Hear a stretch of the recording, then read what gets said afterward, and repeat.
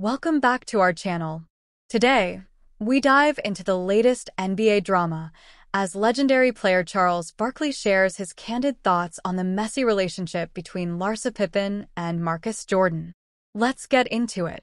During a recent appearance on Shannon Sharpe's Club Shay Shay podcast, NBA Hall of Famer Charles Barkley didn't hold back his opinions on the on and off relationship between Larsa Pippen and Marcus Jordan.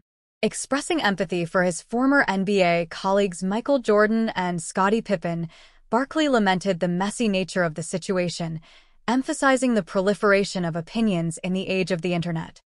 Barkley's concerns stem from the public scrutiny faced by Pippen and Jordan, whose relationship has been a subject of discussion, particularly after being spotted holding hands in Miami Beach despite calling it off earlier.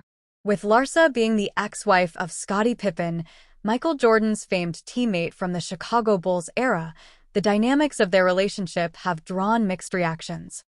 The situation escalated when Marcus Jordan, Michael's son, confirmed their relationship on a podcast, revealing that while there was initial shock, there were no significant hurdles between the families.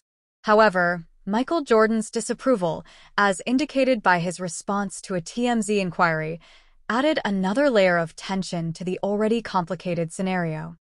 Barkley, reflecting on the camaraderie of championship-winning teams, lamented that the bond between former teammates Jordan and Pippen may never be the same.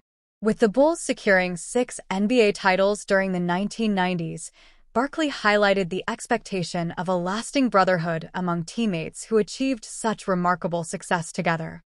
As the saga continues, the public remains intrigued by the unfolding drama surrounding Larsa Pippen and Marcus Jordan's relationship, while NBA veterans like Charles Barkley emphasize the importance of maintaining dignity and respect, especially in the public eye.